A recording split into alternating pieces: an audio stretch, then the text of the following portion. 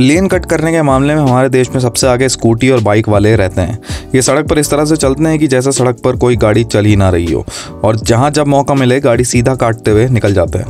और यही चीज़ कई एक्सीडेंट का रीज़न बनते हमने देखा है। इसलिए बहुत ज़रूरी हो जाता है कि अपनी इनोसेंस प्रूव करने के लिए आप कार में डैश कैम ज़रूर लगवाएँ और इनको बचाते हुए खुद एक्सीडेंट में इन्वॉल्व ना हो, इसलिए कंट्रोल स्पीड में गाड़ी चलाएँ। मिस्टर मधुसूदन ने हमारे ईमेल पर एक ऐसा ही एक्सीडेंट शेयर किया था, जहाँ साफ़ देखा जा सकता है कि वो अपनी लेन में चलते नज़र आते हैं और साइड से एक स्कूटी राइडर रास्ता कट करते हुए आगे निकलने की सोचता है, पर स्कूटी को थोड़ा राइट मोड़ता है और फिर गाड़ी से स्कूटी का एक्सीडेंट हो जाता है। यहाँ स्कूटी ड्राइवर को शायद पता था कि गलती खुद उसकी है और गाड़ी में कैमरा भी लगा हुआ है। इसलिए बिना कुछ बोले वो यहाँ से आगे बढ़ जाता है। आगे आप वो डैश कैम फुटेज देख सकते हैं।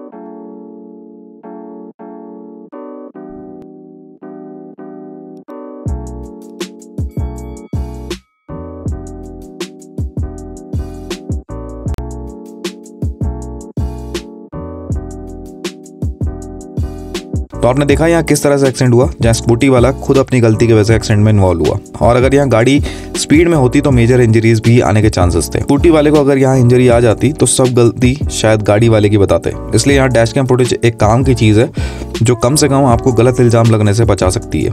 और इस तरह के बाइक वाले ऐसे लोग होते हैं, जिन्हें ना खुद की जान की परवाह होती है, इसलिए कभी भी हेलमेट का इस्तेमाल नहीं करते हैं। ना ही दूसरे की जान की परवाह होती है और इस तरह से ये गाड़ी चलाते हैं।